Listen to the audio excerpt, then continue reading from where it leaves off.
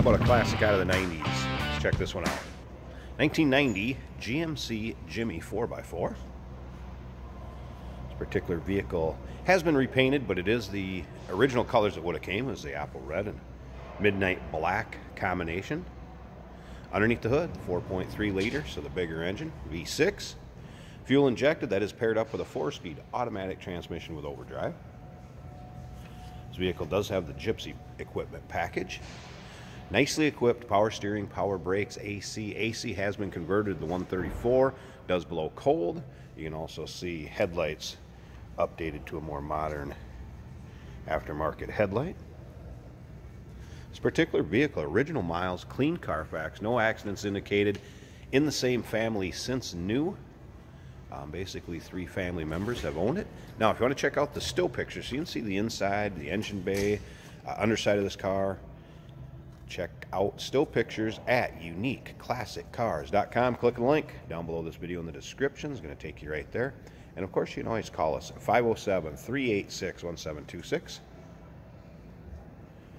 As far as the paint on it, it shows nicely. It does have a few spots where there's a little bit of orange peel and it's uh, repaint and maybe wasn't the highest end like a trailer queen paint job. But as far as being presentable, look nice. You can see the reflection coming off the black. It does have a nice look to it. You can see they've got a little bit of almost like a sealer or paint up above the sliding rear windows, which would have been an option back in 1990. Remember, we do consider trades. Financing is available. Of course, we can assist with transportation, and this vehicle may be eligible for an extended service contract, so consult with your sales associate when you call or, email. There's a picture of the window sticker, goes along with this also. Um, some of the things you're going to see is it does have the charcoal leather reclining bucket seats. I mentioned it does have the sliding rear windows, off-road package. A lot of equipment on this one. Tilt, cruise. Once again, still pictures. So you can see the inside of this. Odometer shows 70,000 on it. Like I said, the Carfax confirms that. It is original miles. No accidents. Still pictures can be seen at uniqueclassiccars.com. Click on the link down below this video in the description. It's going to take you right there. Riding on the original 4x4 wheels that this would have had. BF Goodrich all-terrain tires, which are in very nice shape. Plenty of tread left on those. Take a look up and down the driver's side. One of the things you would see a lot on these is above the wheel wells and starting to bubble behind the fender flares. Let you take a look at it on here.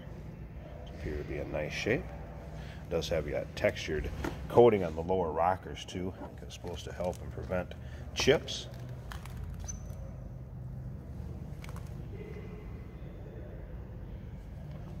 Nice shape above that also. All right, let's take a look at this interior. What kind of leather cloth combination, original door panels, power windows, power locks, And as you can see, these seats are in nice shape. This is just kind of the nap of the fabric, depending on the color of it. Um, but not a lot of wear to the leather. Nice leather conditioner to keep that supple.